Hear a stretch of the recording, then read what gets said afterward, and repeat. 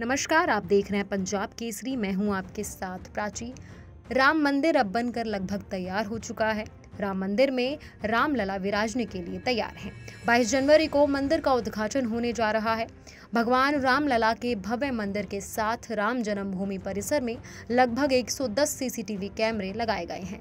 राम जन्मभूमि परिसर में राम मंदिर ट्रस्ट ने ये सीसीटीवी कैमरे लगाए हैं। ये कैमरे रेड जोन, येलो जोन और अयोध्या के प्रवेश द्वार पर लगाए गए हैं। जिला प्रशासन की तरफ़ से कैमरे रामनगरी की सुरक्षा को सख्त करने के लिए लगाए गए हैं। सुरक्षा व्यवस्था के बारे में आईजी अयोध्या जोन प्रवीण कुमार ने कहा कि हमने सभी व्यवस्थाएँ कर ली हैं।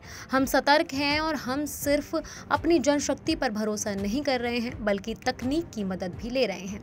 आगे सुनिए उन्होंने क्या कुछ कहा। अयोध्या जी में हमेशा से सुरक्षा के लिए विशेष संवेदनशीलता रखी जाती है और हम लोग इसमें सभी संभव आयामों का हमने समावेश किया हुआ है और हम लोग लगातार सतर्क हैं और जो व्यवस्थाएँ हैं वो हमने की हुई हैं।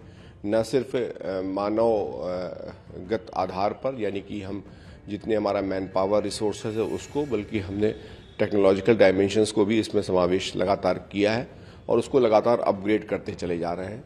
यहाँ के स्थानीय लोगों से, जो संत महात्मा हैं उनसे और अन्य जो भी एक्टर्स हैं, उन सबसे संवाद हमारा लगातार है और हम पूरी तरह से आश्वस्त हैं कि एक चुनौतीपूर्ण परिदृश्य होने के बाद भी यहाँ के सभी लोगों के सहयोग से और सभी आवश्यक व्यवस्थाओं को संपन्न करके इसे बहुत अच्छी तरह से संपन्न कराएँगे। तो इसके साथ ही यातायात व्यवस्थाओं को लेकर के भी कुछ तैयारी देखिए यातायात हमेशा के लिए एक एक बहुत ही सेंसिटिव पोर्शन रहता है जिसमें उद्देश्य ये रहता है कि लोग आसानी से आ भी सकें और जो श्रद्धालु हैं जो उत्साही लोग हैं उन्हें असुविधा ना हो। साथ साथ हम सुरक्षा को लेकर के किसी प्रकार की कोई किसी भी तरह की कोई कंप्रोमाइज़ करने की स्थिति में नहीं होते हैं। तो हम लोगों का उद्देश्य यहाँ पर यही है कि हम यातायात प्रबंधन इस तरह से करें कि लोगों को असुविधा ना हो। लेकिन साथ साथ हम यातायात के लिए जो डाइवर्जन प्लान है, उसको पहले से ही हम लोगों को बता रहे हैं। हम मीडिया में भी बताएँगे, जो हमारे ट्रांसपोर्टर्स हैं, उनको भी समय रहते बताएँगे, ताकि लोगों को एक किसी तरीके के अपने डाइवर्जन के एक वैकल्पिक मार्ग हमेशा उपलब्ध रहे और किसी को असुविधा ना हो। हमने बहुत सारे सीसीटीवी कैमरे लगाए हुए हैं। जगह जगह पर चप्पे चप्पे पर सीसीटीवी कैमरे से नज़र होगी। हमारे कई ड्रोन लगातार इसमें एक्टिवेट रहेंगे। साथ साथ एंटी ड्रोन सॉल्यूशंस के माध्यम से हम ये अवैधानिक रूप से चलाने वाले ड्रोनों पर भी सतर्क दृष्टि बना के रखेंगे। हमने आर्टिफिशियल इंटेलिजेंस का भी इसमें प्रयोग अपने कैमरों के माध्यम से किया हुआ है। जहाँ पर हम पहले से कुछ आइडेंटिफाइड लोगों को हम नज़र रख सकते हैं निगरानी कर सकते हैं।